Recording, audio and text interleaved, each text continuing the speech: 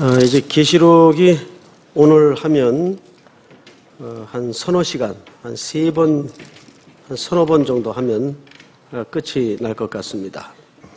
오늘은 계시록 주제가 어, 또 제목이 뭐죠? 천년 왕국입니다. 천년 왕국.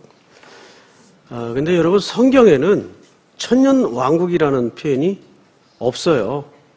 어, 이것은 그냥 설교자들이나 또 학자들이 이 대목을 설명하기 위해서 제목을 붙인 것 뿐이지, 어, 현실적으로 성경에서 천년 왕국이라는 표현을 쓴 대목이 일절 없습니다. 일부러 그것을 좀 우리가 서로 혼란을 방지하기 위해서 강조하기 위해 어, 제가 제목을 일부러 천년 왕국이라고 어, 붙여본 겁니다. 그러면 성경의 정확한 표현은 뭐, 뭔가 하면 천년 동안 또는 천년이 참해 이런 표현이 있어요. 몇 군데 한번 볼까요? 어, 20장 또 내가 봄에 천사가 무조경의 열쇠와 큰 사슬을 그의 손에 가지고 하늘로부터 내려와서 용을 잡으니 곧 예뱀이요 마귀요 사탄이라 잡아서 얼마 동안이죠? 예, 천년 동안 천년 동안 이렇게 돼 있어요. 또 3절을 보시면 무저, 무적행에 던져 넣어 잠그고 그 위에 임봉하여 천년이 어떻게 하도록 차도록 4절에도 보면 천년 동안 또 5절에도 보면 천년이 차기까지 6절에도 천년 동안 7절에도 천년이 참해 자 이런 걸로 봐서 성경에는 어디에도 천년 왕국이라는 표현을 일절 어, 쓰지 않습니다.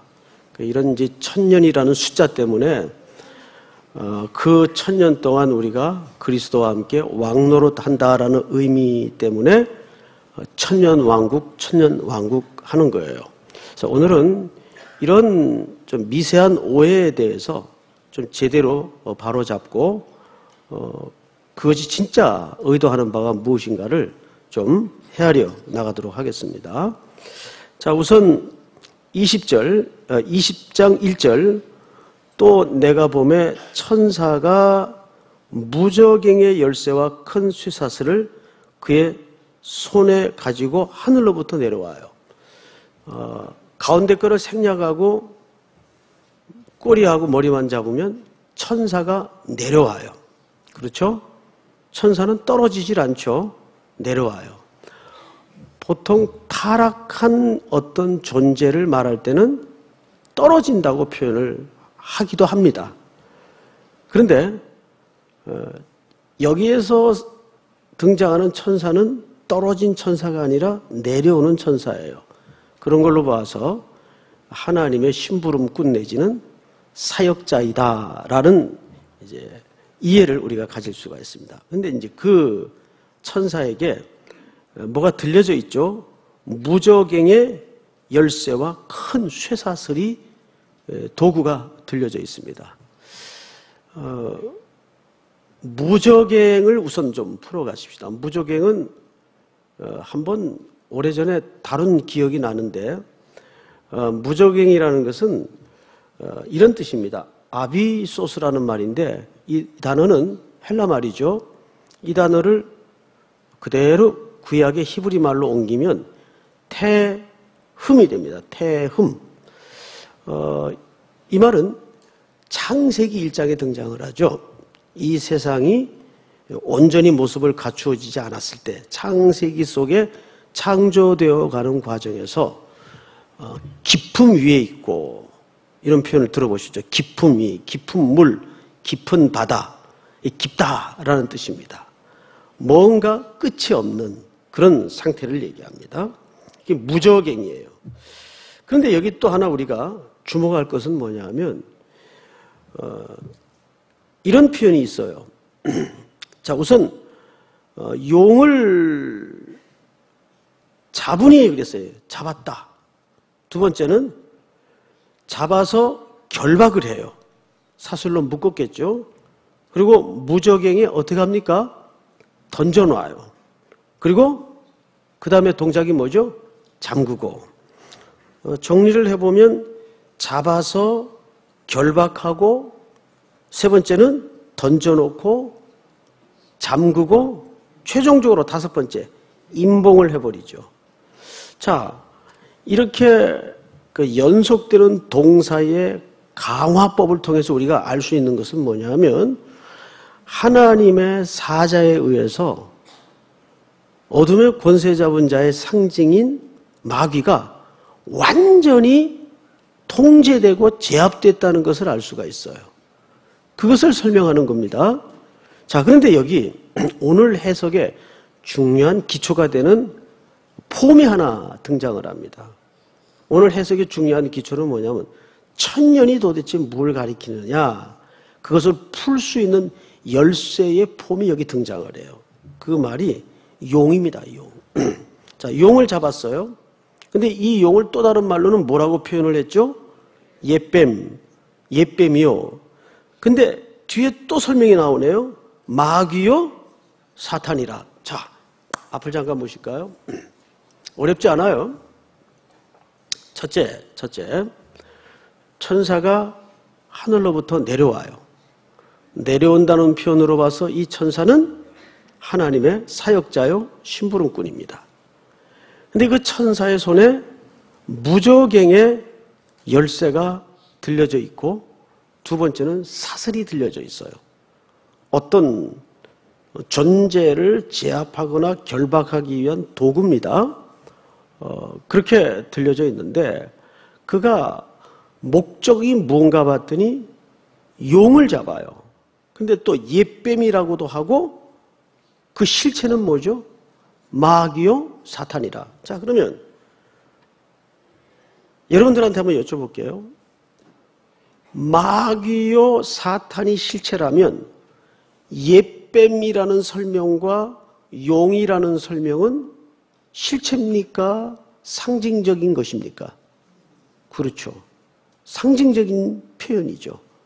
그 상징의 실체는 뭐예요? 마귀요, 사탄이에요.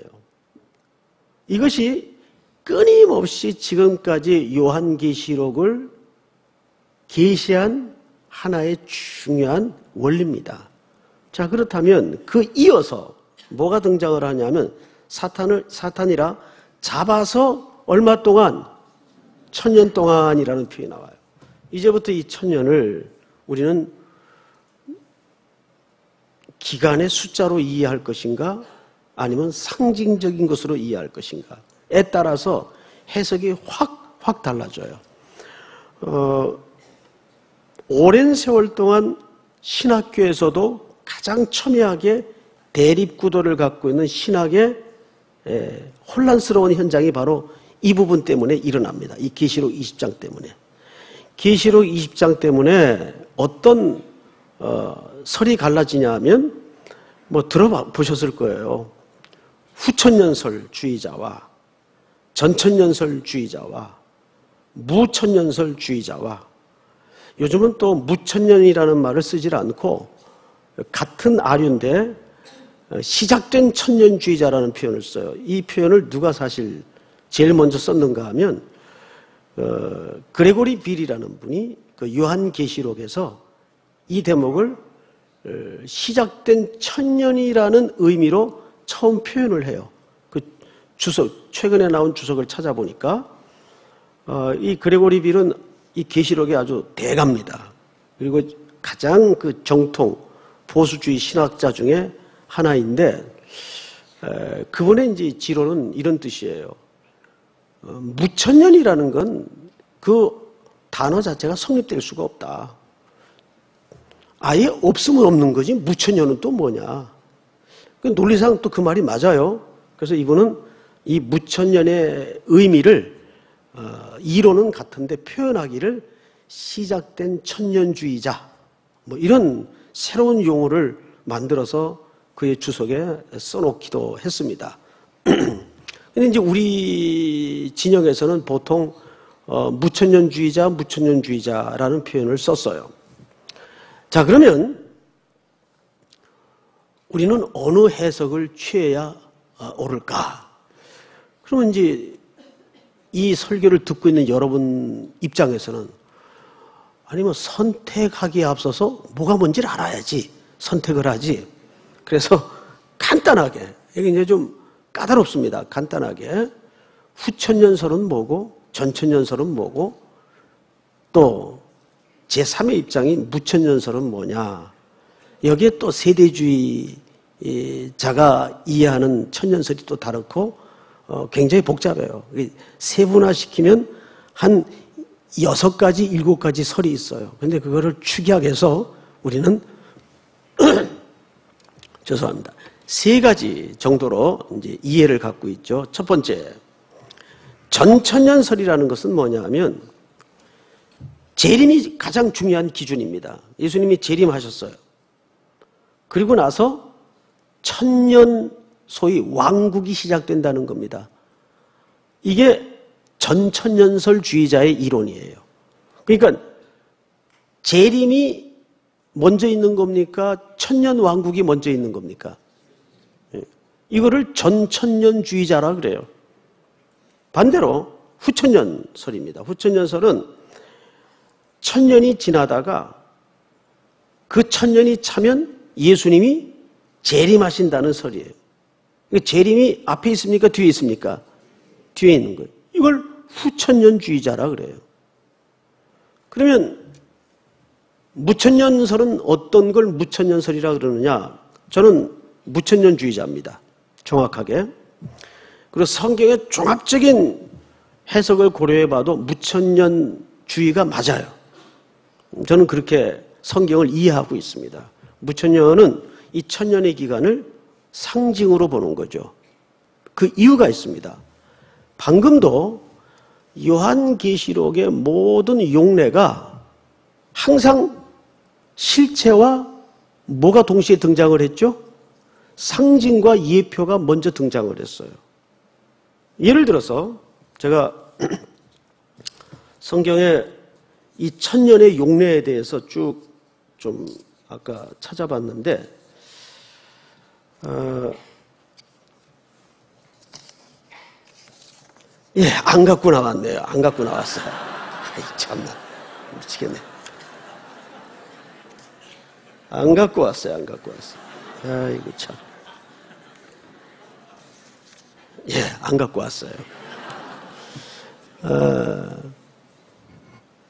간단히 예를 들면 베드로서에도 그렇고 시편에도 그렇고 천년이라는 연수에 해당하는 단어가 등장하는 모든 용례는 문학적인 표현으로 쓰여질 때 천년이라는 숫자가 등장을 합니다. 그러니까 거의가 거의가 아니라 100% 상징적인 숫자예요. 그래서 저도 이 천년을 실질적인 기간으로 보는 것이 아니라 상징적인 기간으로 보는 거죠. 그이 기간은 그레고리 빌의 해석처럼 이미 시작된 천년이에요. 그리고 이제 주님이 오시겠죠. 자, 그런 이제 기본으로 우리는 오늘 본문을 좀 볼 필요가 있는데, 어, 우선 2절을 볼까요? 그 하늘에서 내려온 천사가 용을 잡았어요. 근데 이 용이 옛뱀이라고도 하죠. 이 표현은 기시록에 자주 등장했던 표현입니다. 근데 그 실체는 마귀요 사탄이라 이렇게 되어 있습니다. 잡아서 천년 동안 결박을 합니다. 그리고 임봉을 해버리죠. 자, 이것은 그리스도의 십자가의 사건으로 이미 그 어, 천사와 격렬하게 싸우는 존재로 등장했던 이 마귀는 이미 승패가 끝장이 난 존재입니다. 그런데 문제는 끝장이 났지만 아직도 그 미세한 세력은 허락돼 있어요. 숨통이 완전히 끊어지진 않았어요. 이제 이 기간 동안 이 마귀는 준동을 하고 미혹해하고 성도들을 겁박하며 힘들게 만들 겁니다.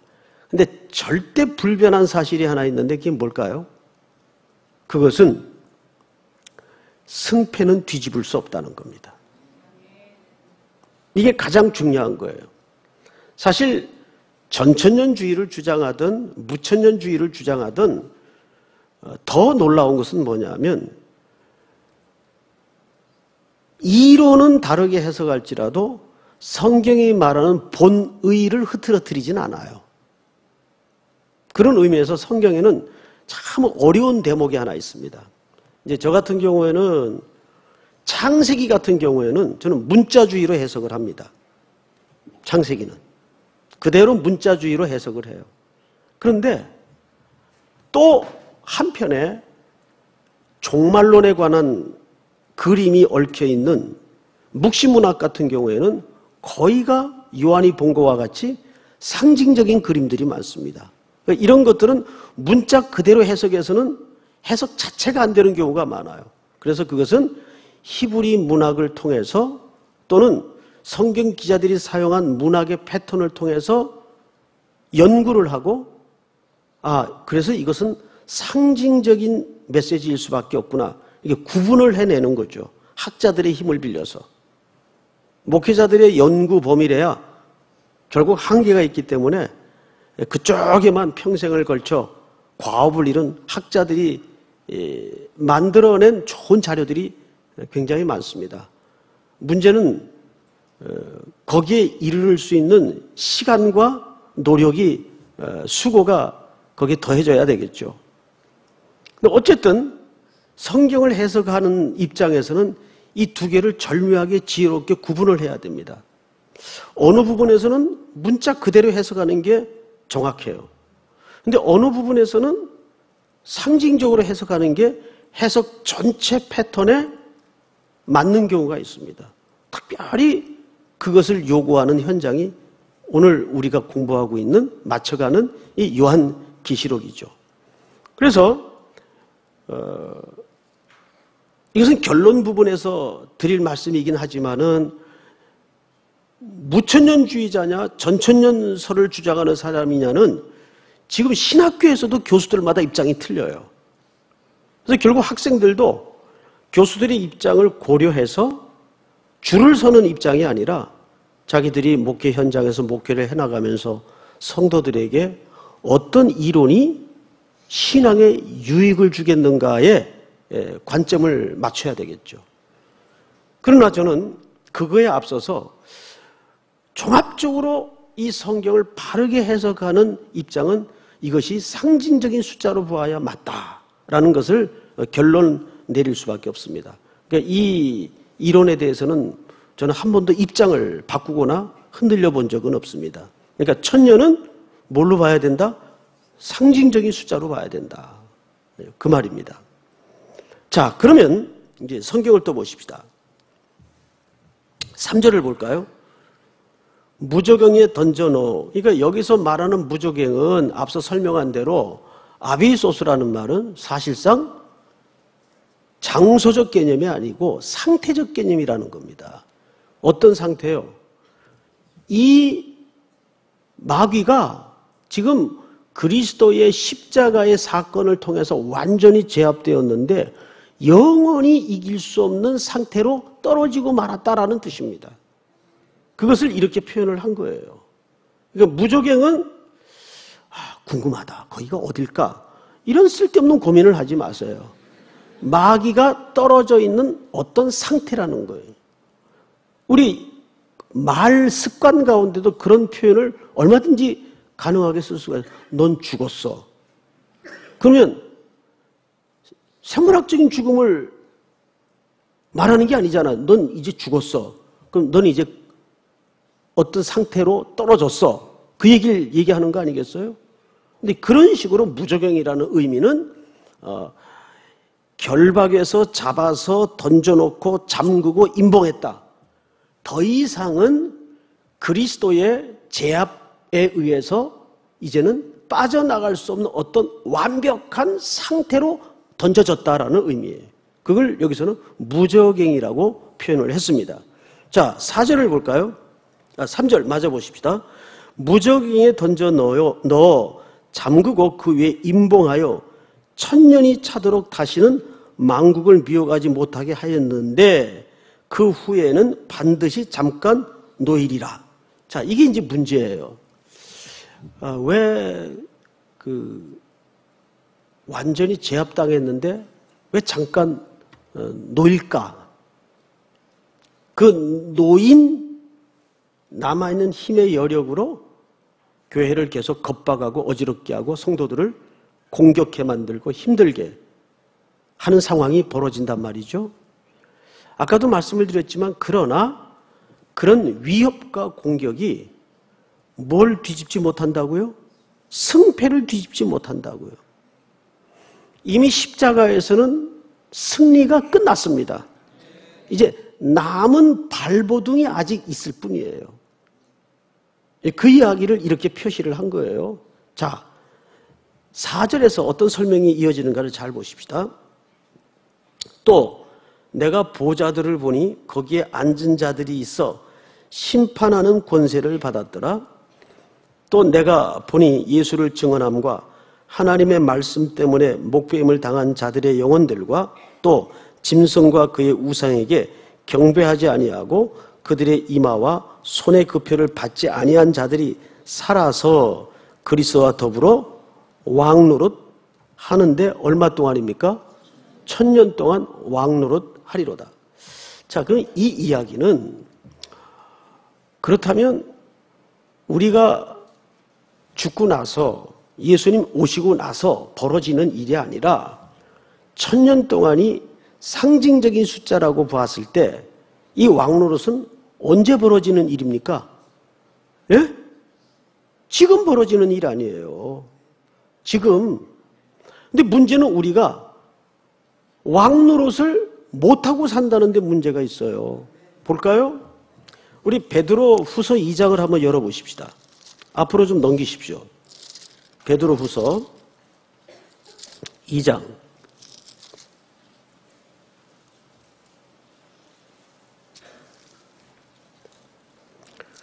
아, 베드로 전서입니다. 죄송합니다. 베드로 전서 2장.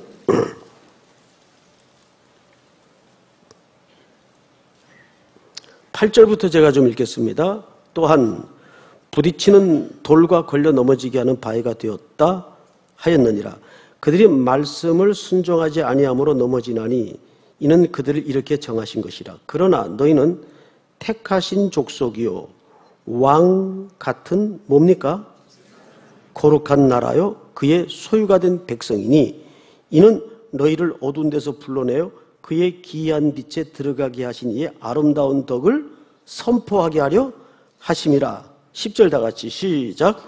너희가 전에는 백성이 아니더니 이제는 하나님의 백성이요 전에는 궁유를 얻지 못하였더니 이제는 궁유를 얻은 자니라. 여러분 지금 베드로 사도가 설명한 이 내용은 죽은 다음에 벌어질 일을 설명한 겁니까? 현대의 고난 속에서 믿음으로 삶을 붙들고 있는 성도들을 향한 이야기입니까? 고난 속에서 믿음으로 삶을 붙들고 있는 성도들을 향한 이야기예요. 근데 거기에 표현해 보니까 택하신 족속이요, 왕 같은 제사장들이요, 거룩한 나라요, 그의 소유된 백성이니. 이것을 어두운 데서 너희를 불러내어 그분의 아름다운 덕을 선전하게 하려 하심이라. 그러면 이 왕노릇은 어디서 언제 벌어지는 겁니까? 지금 벌어지는 거예요. 근데 아멘은 하시는데 문제는 이 왕노릇이 제대로 되어지지 않고 있다는데 우리의 서글픔이 있다는 거죠. 우리는 여전히 뭐처럼 살죠? 거지와 왕자라는 동화책을 아시죠? 우린 거지처럼 살아요. 때로는. 우리는 왕입니다. 왕자입니다. 그러니까 여기서 왕 같은 제사장이라는 말은 이런 뜻이에요. 왕노로 타시는 그리스도의 왕권에 우리가 동참받았다는 뜻입니다. 그분이 우리 삶을 간섭하셔서 우리가 왕노로 탄다는 말이 아니에요. 거꾸로 받아들이시면 안 됩니다. 그 그리스도의 왕으로 통치하시는 그 통치의 경영에 우리가 동일하게 왕 노릇으로 부름받았다는 뜻입니다. 이걸 이해하십니까? 그러니까 아무리 상황이 힘들고 곤고하고 어려울지라도 우리 영화에서 흔히 듣는 대사 있잖아요. 내 돈이 없지 가오가 없냐? 기억나세요? 이게 무슨 영화더라? 예? 그런 대사는 탁탁 걸려요. 여러분들이 돈이 없지 뭐가 없어요?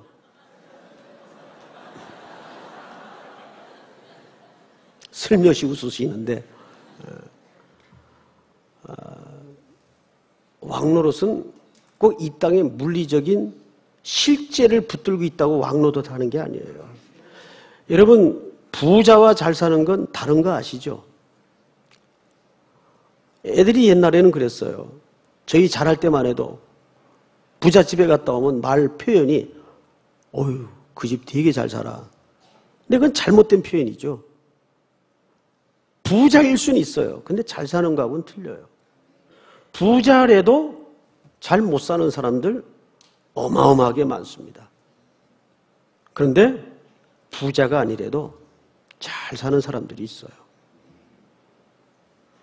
그 사람이 누굴까요? 왕노릇하며 사는 사람들이에요. 그리스도의 이 땅의 경영에 신실하게 지혜롭게 동참하여 그 이론으로 살아가는 사람들이에요. 요한복음 1장에 놀라운 얘기가 하나 감춰져 있죠. 영접하는 자, 곧 그 이름을 믿는 자들에게는 하나님의 자녀가 되는 뭘 줬어요? 권세. 권세를 주셨으니 이는 혈통으로나 육정으로나 사람의 뜻으로 나지 아니하고 오직 하나님께로 난 자들이니라. 믿으십니까? 그자만이 왕노릇 할수 있는 겁니다. 이 왕노릇은 저 머나먼 어떤 사회의 이야기가 결코 아니에요. 그래서 항상 강조하는 바와 같이 계시록은 먼 미래에 일어날 어떤 종말의 그림을 미리 땡겨보는 책이 아니고 오늘이라는 현실에 얼마나 우리가 치열하게 경주할 수 있는가, 어떻게 경주해야 되는가를 신실하게 담아낸 책이 계시록입니다. 믿습니까? 그 왕노릇은 지금 하는 거예요. 이 한 주간 하는 거예요. 투표하세요. 투표하세요. 어, 투표 안 하면 자기가 가장 싫어하는 사람의 통치를 받게 돼 있습니다. 그게 사실입니다. 아, 뽑을 사람이 없는데요. 덜 나쁜 사람을 뽑으세요. 민주주의에 의해서 하는 투표는 최고의 지도자를 뽑는 행위가 아니에요. 두 가지 이유 때문입니다. 덜 나쁜 지도자를 뽑고 나아가서 그 지도자가 아닐 때에는 끌어내릴 수 있는 게 민주주의입니다. 이번 촛불 집회를 통해서 우리가 그 실체를 정확하게 보잖아요. 대한민국 백성들의 이 민주의식이 굉장히 높아졌어요. 이런 전례를 역사상 찾아보기 어려울 정도로 평화로운 시위를 통해서 집회를 통해서 잘못된 지도자의 지도력을 내려뜨렸습니다. 그렇다면 거기에 대한 책임의식을 가지고 이번 선교는 무조건 동참을 해야 됩니다. 제가 어제 리더 모임 시간 때 그 투표하는 방법에 대해서 좀 팁을 드렸는데 이게 좀 그 아슬아슬하긴 한데 그래도 참고가 될 것 같아요. 저는 이 책을 쓴 분이 외국 분이에요. 투표하는 방식에 대해서 쓴 책인데 어, 그분이 이제 써놓은 이야기라 우리나라 현실과는 조금 동떨어질 수가 있습니다. 어, 첫째, 첫째, 민주주의는 훌륭한 대통령을 뽑는 게 아니다. 최소한 덜 나쁜 사람을 뽑는 것이다. 그리고 민주주의는 지도자가 잘못했을 때 바꿀 수 있는 시스템과 성숙도를 이야기하는 것이다. 경계해야 될 후보, 지역 감정을 부추기는 사람, 도덕적으로 윤리적으로 심각한 문제가 있는 사람, 뭐 나라의 지도자니까 우리가 성인군자를 뽑는 건 아닐지라도 기본적인 상식선에서 윤리성과 도덕성은 가지고 있어야 됩니다. 맞죠? 그 다음에 대담한 사업을 펼치려는 후보. 뭐 이렇게 허황된 비전. 어, 이런 거 조심해야 돼요. 그 다음에 진짜 조심해야 될 것. 우리 기독교인들이 빠질 수 있는 함정인데, 한 국가를 종교나 신념의 공동체로 만들려는 후보. 위험합니다. 여기서 나치가 나오는 거예요. 여기에서 일제가 등장을 하는 겁니다. 그래서 꼭 나는 크리스찬이니까 기독교인의 후보를 뽑아야 된다. 아주 안 좋은 생각입니다. 다행히 이번에는 정통 기독교인의 후보는 없는 것 같아요. 없죠? 제가 알고 있는 한 없는 것 같아요. 천주교는 한두 분 계시는가 모르겠습니다. 그러니까 한 국가를 신념 공동체로 그 과거에 미국 대통령 중에 조지 부시라는 분이 계셨어요. 이분이 중동과의 전쟁을 성전이라고 선포를 했어요. 이게 얼마나 무서운 사고 논리입니까? 그리고 열방을 줄 세웠죠. 우리 편이면 선이고 우리 편이 아니면 악이에요. 이게 얼마나 위험한 생각이에요. 국가는 신념 공동체나 종교의 어떤 공동체가 되어서는 안 됩니다. 그 다음에 경계해야 될 후보 중에 하나가 국제 문제에 애매한 중립적인 입장을 취하는 분. 여러분, 국제 문제의 첫 번째 가치는 국익입니다. 그래야 안 그래요? 자국의 이익이 우선적 가치예요. 근데 거기다 대고 애매한 입장을 국제 문제 중도가 어디 있어요? 중도가. 국제 문제의 나라의 지도자는 국가의 국민의 재산과 생명을 보호하는 것이 일차적인 그의 책무의 첫 번째 책무입니다. 그런데 국제 간의 문제를 애매하게 중립적인 입장을 취하는 것은 나라를 혼란에 빠뜨릴 수 있는 그런 위험한 상황이죠. 반면에 적극적으로 어떤 후보를 뽑아야 되겠는가? 좀 시대에 맞아야 돼요. 시대에. 시대에 너무 뒤떨어진 그 말하자면 common sense가 없는 분들 문제죠.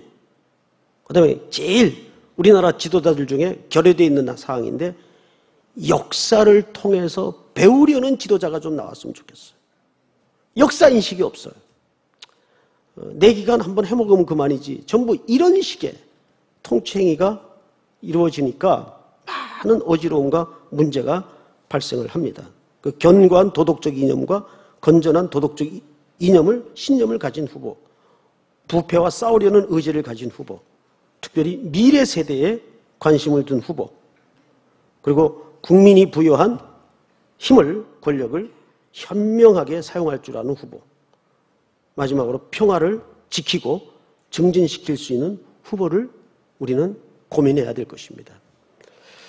어, 이것이 도대체 성도로서 왕노릇 하는 일과 무슨 상관이 있느냐? 굉장히 중요한 함수 관계가 있습니다. 왕노릇 하라는 것은 무슨 거창한 일을 하라는 게 아니잖아요. 오늘이라는 현실에서 내가 하나님의 자녀로서 사소한 문제 하나에 이르러서 어떤 판단을 하고 행동을 할 것인가는 중요한 왕노릇의 첫걸음입니다. 일터에서. 우리는 교회 일은 성스럽고 하나님의 일이고 직장의 일은 속된 일이라는 이분법적 구조를 갖고 있어요. 아닙니다. 공부도 예배요 하나님의 일입니다. 비즈니스도 하나님의 일입니다. 그 현장에서 여러분들은 왕으로서 하는 통치가 이루어져야 됩니다. 그런 신실한 순종이 있기를 바랍니다. 자, 마지막으로, 마지막으로 또 오늘 재직에도 있으니까 7절 보겠습니다. 천년이 참에 사단이 그 옥에서 놓여 나와서 땅의 사방 백성 곧 곡과 마곡을 미혹하고 모아 싸움을 붙이리니 그 수가 바다의 모래 같으리라. 이 곡과 마곡은 에스겔서 38장 39장에 나오는 내용들이죠. 곡은 마곡의 왕의 이름입니다. 마곡은 나라의 이름이고 곡은 그 마곡의 왕의 이름인데 항상 이 존재는 하나님의 택한 백성들을 괴롭히는 존재의 상징으로서 늘 등장을 합니다. 그래서 여러분들이 혹 집에 가셔서 그 에스겔서 38장, 39장을 볼 시간이 있으면 이 부분이 무엇을 뜻하는지 이해가 될 거예요. 그런데 여기에 우리가 한 가지 결론을 짓고 어, 마치도록 하십시다. 천년이 찼다. 이 찼다는 말이 무슨 말일까요? 이 천년이 찼다는 말은 이제 그 천년이 거의 그 천년이 갖는 상징의 의미가 더 짙게 드러나고 우린 지금 말세라 그러죠. 이 천년 동안입니다. 상징적으로. 이 말세 동안에 일어날 수 있는 모든 무도한 일들이 최고조로 달할 즈음에 어떤 일이 벌어지느냐 그 말이에요. 천년이 찼다는 말은 기간이 풀리 다 됐다 그 얘기가 아니에요. 지금 그 천년 동안에 일어날 어떤 무도한 일들과 경우들이 지금 다 벌어지고 있다. 그 얘기를 천년이 참회라고 설명을 하는 거예요. 제일 중요한 거짓 교사들이 일어난다는 겁니다. 교회 순결을 무너뜨리고 거짓 교사들이 일어나서 복음을 혼잡케 만드는 그 혼잡하다는 말은 어, 포도주를 짜는데 불순물들이 섞인다는 의미예요. 불순물들이 섞이면 어떤 최고급의 양질의 포도주라도 가치가 그대로 어, 무너져 버립니다. 복음의 성격이 그래요. 99대 1은 없어요. 복음도 하나님의 사랑도 항상 그 갖는 일치된 성격은 100%입니다. 100% 헌신을 요구하고 온전한 헌신을 요구하는 거예요. 우리가 온전하다는 것은 퍼펙트한 것을 얘기하는 게 아니라 하나님을 찾아가는 지향성이라고 말씀을 드렸습니다. 오늘 넘어지지만 내가 또 부족하지만 다시 일어나서 그분의 은혜에 기대고 그분의 사랑을 찾아 길 떠나는 나그네의 삶이 뭡니까? 온전하게, 온전하게 만들어져 가는 길입니다.